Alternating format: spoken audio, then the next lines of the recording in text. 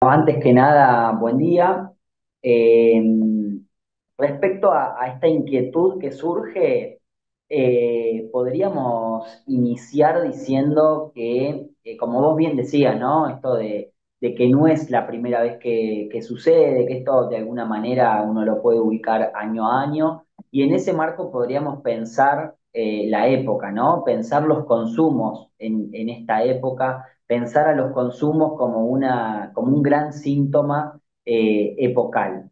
Eh, ahí, bueno, nosotros eh, tratamos de hacer algunas diferenciaciones eh, o establecer algunas diferenciaciones para pensar esto que decías vos, de cuándo hablamos de un consumo problemático, cuándo no, ¿no? Porque si no, eh, muchas veces queda como que todo es lo mismo. Entonces hay que poder desandar, desarmar algunas de esas cuestiones. Eh, en ese sentido, creo que, que esto que ocurre o que ocurrió, eh, que vos traías el, fin de semana o que ocurren este tipo de, de- de eventualidades, eh, tienen que ver con, con cuestiones más coyunturales, ¿no? O lo que preocupa tiene que ver con eso, con algo que ocurre en un marco en particular, en una situación, un día o una festividad en particular. Yo creo que eso... eh, es importan- es importante prestarle atención, me parece interesante eh, esta, esta, esta cuestión de, interesarse, de poder ver qué herramientas construir.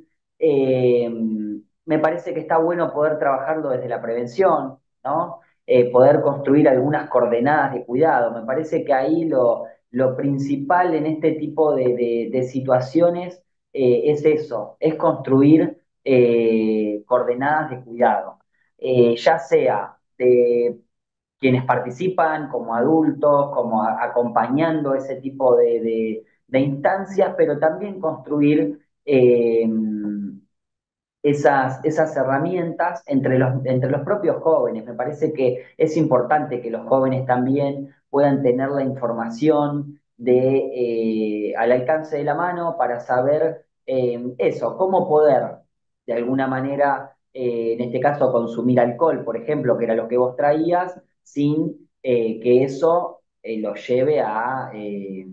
a una, a una situación no deseada, digamos, ¿no? Como puede ser la de tener que terminar la, la noche antes de tiempo o infinidad de situaciones que pueden llegar a surgir. Ahí también me parece importante poder pensarse en una, en, términos de, reducción de riesgos y daños, ¿no?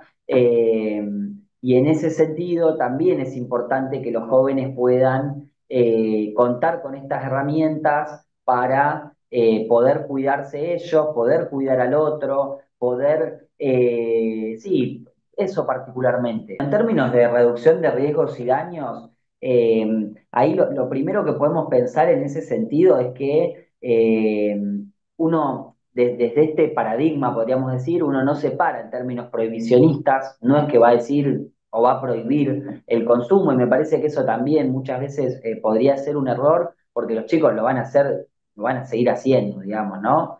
Eh, entonces, en ese marco sí me parece importante que si lo van a hacer, lo puedan hacer a conciencia, lo puedan hacer, como decía antes, cuidándose a sí mismos y cuidando al otro. En ese sentido hay un montón de, de medidas que se pueden tomar.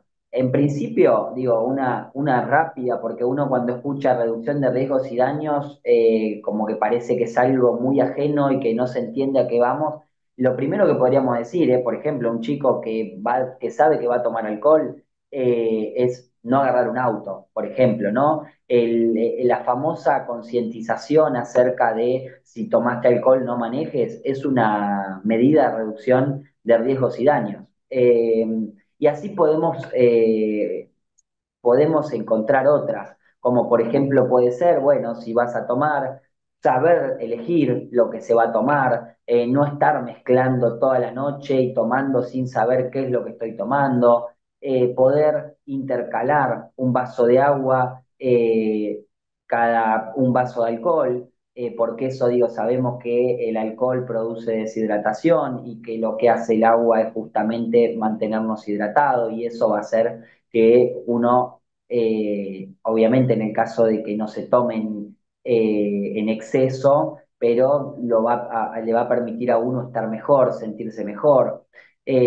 Bueno, ahí vos hablabas un poco también, creo, al, principio de las previas. Es importante también, bueno, ver, poder planificar a qué horario se empieza, en función de eso, poder alimentarse previamente, poder tener una instancia de alimentación intermedia, digo, cuestiones que son, que son, podríamos decir, bastante básicas, pero que uno al momento de la festividad eh, se va olvidando y que, bueno, eso, una persona que arranca a tomar alcohol desde, desde tempranas horas, ya sea de la mañana o del mediodía, sin haber comido antes, sin haber desayunado, que después a lo largo del día no come nada y sigue tomando alcohol y sigue tomando alcohol, eh, que no toma agua, bueno, eso probablemente desencadene en una situación que uno eh, no desea, digamos, en un malestar eh, que puede hasta a veces requerir de, una, de algún tipo de asistencia.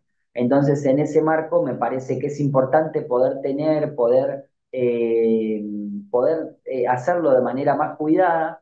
Y ahí también, un poco era lo que decía antes, me parece importante el rol, tanto de los adultos en eso, eh, como de los propios jóvenes, que quien está al lado pueda decir, che, comiste, che, tomaste agua, que haya alguien que pase con una jarra de agua dándole agua a sus compañeros, a sus compañeras. Me parece que, que son cuestiones que, que hacen también al cuidado eh, general entre, entre los pares.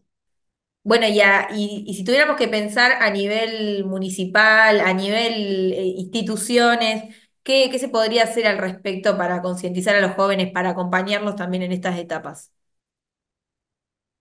No, me parece que un poco lo que decía antes, ¿no? Respecto a, al, lugar del adulto en esto. Me parece que es importante que las instituciones puedan estar. eh, obviamente la, Secretaría de Salud tendrá también sus, ideas de cómo, de cómo abordarlo, pero me parece que lo fundamental es poder, poder ponerse al servicio y ponerse un poco al servicio de esta manera, ¿no? De, de poder eh, acercarse a los jóvenes, poder hacer estas recomendaciones, poder eh, establecer cierto lazo, cierta confianza. Me parece que es un poco, es el, ese debería ser el objetivo. Digo, a veces sale más, a veces sale menos, a veces los jóvenes se dejan acompañar más, a veces se dejan acompañar menos.